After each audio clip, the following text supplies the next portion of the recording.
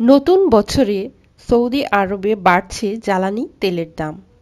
নতুন বছরের শুরুতেই সৌদি আরবে আরও এক ধাপ বাড়ল জ্বালানি তেলের দাম। রাজস্ব সংকটের কারণে এই সিদ্ধান্ত নিয়েছে সৌদি সরকার।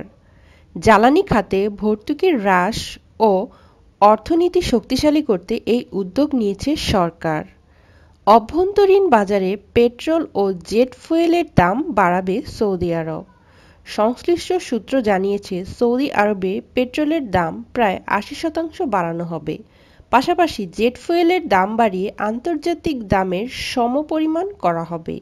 অন্যান্য ধরনের জ্বালানি ও বিদ্যুতের শুল্কও ধাপে ধাপে বাড়ানো হবে। বিশ্ববাজারে জ্বালানি তেলের দাম কমার কারণে কয়েক বছর ধরে রাজস্ব সংকট সহ অর্থনৈতিক মন্দা চলছে সৌদি আরবে। তাই এ পদক্ষেপ নেওয়া হয়েছে বলে ধারণা করা হচ্ছে।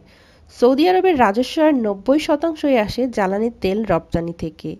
দাম ক্রমান্বয়ে পঞ্চাশ ডলারেরও নিচে নেমে যায় দেশটির রাজস্ব আয় ধস নামে।